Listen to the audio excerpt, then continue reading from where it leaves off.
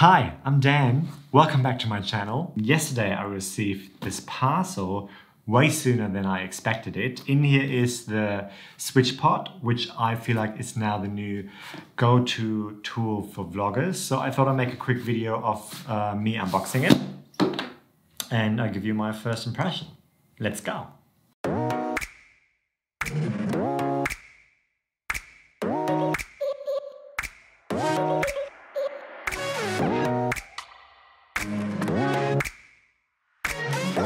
If you're new here, I call myself the lazy creator because too often my full-time job or life gets in the way of creating. So I started this channel to motivate myself and you um, by talking about all things that simplify the creative process and get your results fast.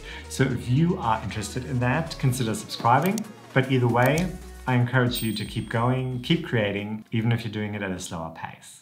Up until now, I used this mini tripod from Manfrotto for my first few vlogs. I'll link my last vlog up here in case you want to check it out. But yeah, I'll keep this in my camera bag at all times in case I need to shoot something on a tripod. And for that, it's great, but uh, the ball head recently started to get a little bit loose, so I needed a more reliable alternative for vlogging where the SwitchPod comes in. I know most vloggers use the GorillaPod and I was considering getting that myself, but I always felt like it seemed a bit bulky and painful to use. So as soon as the SwitchPod came out, I had my eyes on this. And when I saw Peter McKinnon's video, that sort of convinced me that the SwitchPod would be the better choice for me. The SwitchPod is not available in Australia, so I had it shipped from the US for 55 US dollars.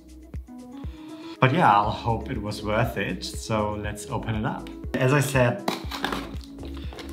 I was surprised getting it so quickly because this only took I think three to four days to arrive in Australia and the last time I ordered something from the US um, it took over two months to get here. So here it is.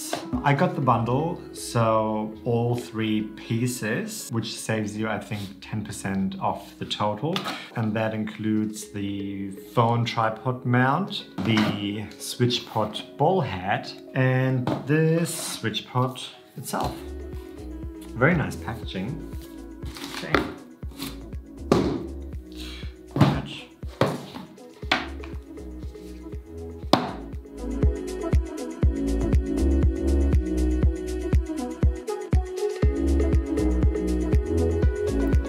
While you watch the unboxing, let me give you my first impression.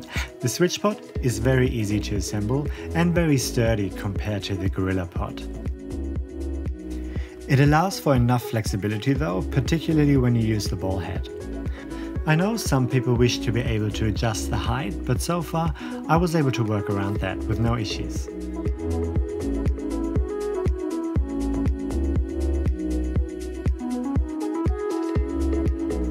I love how quickly you can change from a handheld setting to the tripod setting by simply flipping the legs. Attaching the phone adapter is super easy as well, you simply screw it onto the SwitchPod or the ball head and you're good to go. That also makes it easy to switch between a phone and a camera.